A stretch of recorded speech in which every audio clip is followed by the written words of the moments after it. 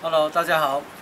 那我今天要来为各位示范一下，如何用这个保特品哈来做一个浇花的一个喷水头啊。那这种保特品呢，它的那个螺纹啊是有特殊规格的哈，跟我们一般的六分的螺螺牙是不大一样啊，所以你必须要用一个专门的哈啊专门的这种奶嘴。啊，这种奶嘴是专门为这个保特瓶设计的。啊，那我们来给各位看一下，啊，这样锁上去就好了。啊，我们再换一种瓶子也是一样哈，绝大部分的瓶子都是可以锁上去的哈。啊，那这种三百毫升的这个瓶子哈，市面上很多嘛哈。你就找一个尺寸比较合的锁上去就好了。那用这种保特瓶哈来做这个喷水头有什么好处？就是说，因为在有一些场合，我们必须喷一个角度啊，因为有时候厂商给我们的喷头不是一百八十度，就是三百六十度啊。那我们想要。对某一个角度做喷射的时候呢，我们可也可以自己来动手做就对了哈。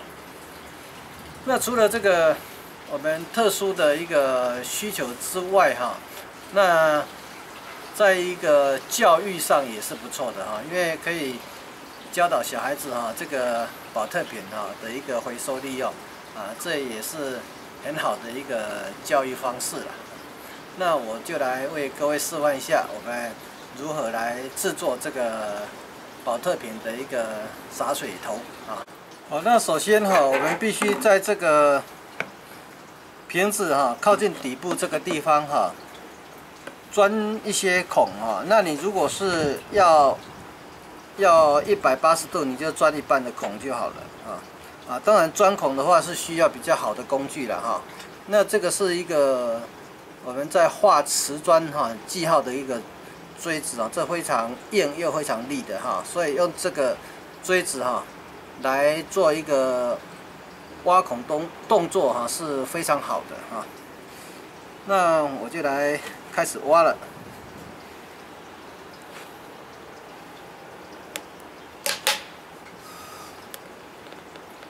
哦，那你在挖的时候挖坏没有关系，因为这个保特瓶哈市面上很多哈，你都随时可以再去找的哈。或是下回你再买个饮料就有了，啊，那今天我要做一个一百八十度就好了，啊，因为我们要拍摄影片嘛，如果，呃，这个三百六十度就怕会喷到我的一个摄摄影机哈，所以我们示范一下一百八十度就 OK 了。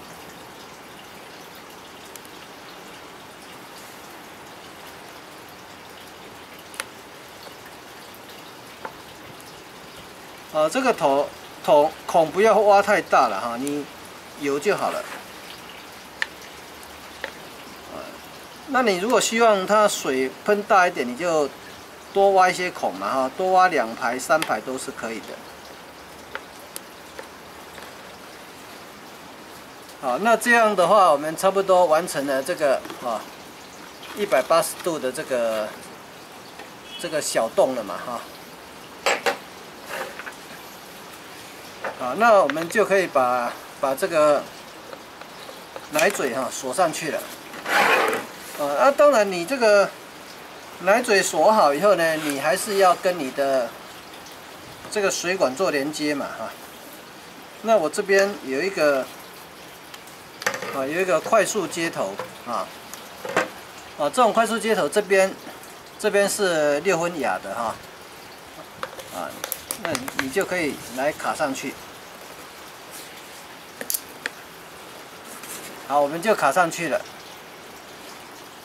啊，那如果是你的配水管呢是六分的，当然你是直接锁就可以了嘛。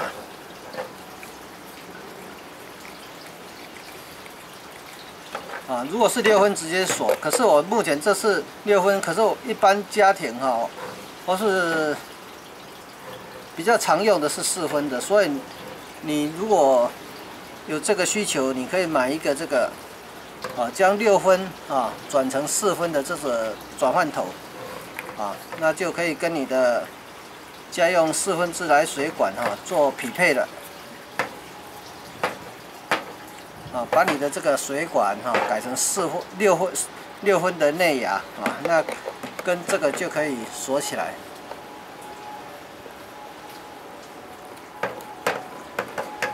啊，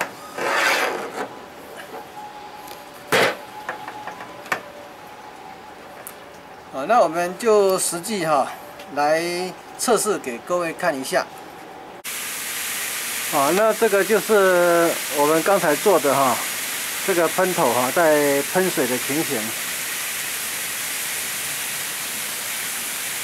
哦，那由于它这个是用快速接头嘛，所以你可以调整哈喷射的一个方向哈。啊，你只要转。快速接头就可以了，啊，感觉上是蛮好用又方便的。